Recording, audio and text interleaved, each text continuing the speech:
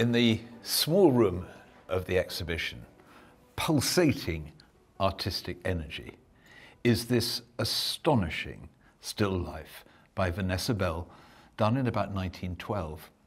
Now, it wasn't actually executed at Charleston. This was before they arrived there. But she and Duncan went down to Asheham House, which was Vanessa's sister Virginia's place. And there they produced some remarkable paintings, not all of which have survived, but this has. And it's by quoting Virginia that we can unlock the cause of this fantastically bold object. On or around 1910, Virginia says, human character changed, and she was referring to a massively influential exhibition which arrived like a meteor in London in 1910.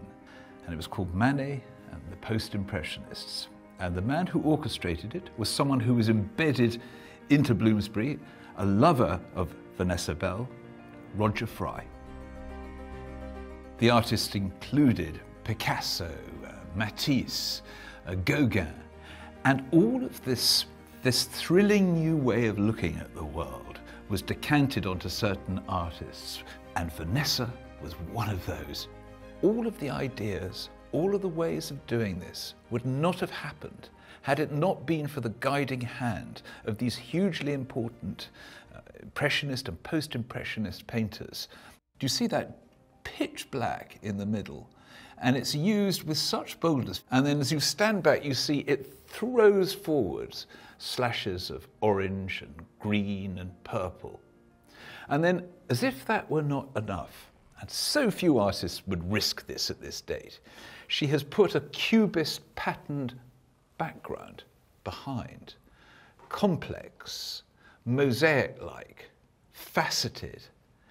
And then at the pot as well, you've got the most sort of violent cacophony of, of, of colours and shapes and yet she's marshaled them in a, in a way that is totally captivating. Vanessa still, from time to time throughout her life, and we see this in the paintings at Charleston, is able to draw upon this early vocabulary.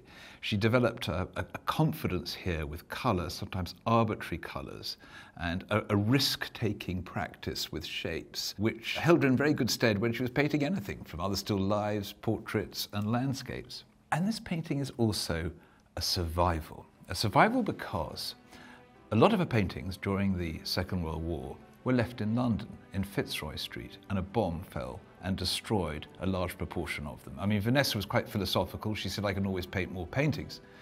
But many of them, many of these early works just disappeared. They burnt and were smoked to death. But what happened was there were a few pictures, together with other modernist greats, that they brought to Charleston. This was one of them. There's a photograph of it in her studio. Thankfully, she did that.